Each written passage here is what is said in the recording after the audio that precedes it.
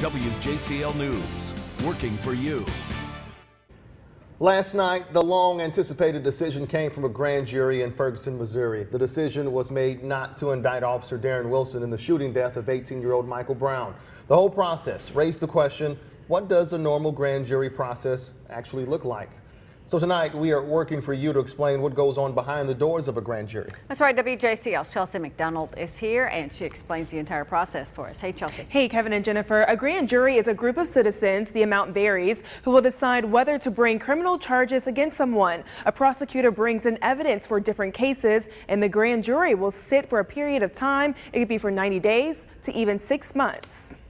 We ask people like you, what's a grand jury? Basically, when they put together a group of people to hear a case before it's actually considered whether or not the case is going to be taken to trial. But it's not that simple. So we asked a law professor, Andrew Wright, what's the goal of having a grand jury? The idea of a grand jury, in part, is to protect the citizens from overzealous prosecutors. Prosecuting attorneys like Robert McCulloch present evidence to the grand jury. Then the jury will decide whether to return the indictment and charge the accuser or, in the Ferguson case, no bail or not to indict. Famously once said that a prosecutor could indict a ham sandwich if he wanted to. And so one of the things I think is going on in Ferguson right now is skepticism about how hard the prosecutors pushed when they brought the evidence before the grand jury since there was a return of non-indictment. The vast majority of cases that are brought before grand juries return indictments. Unlike a trial, there isn't a defense counsel and a prosecutor. The prosecutor is the only person in the room presenting his or her theories. That's one of the reasons it's come under criticism that it's under the sway of the prosecutor's theories because there, there isn't a defense counsel in there who's testing the evidence in an adversarial way.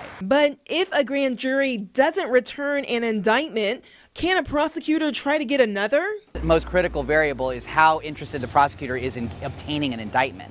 The prosecutor's office, I think the allegations are, in Ferguson, might not be that interested in getting an indictment. So the first choice is their office would have to be a priority that they get that indictment.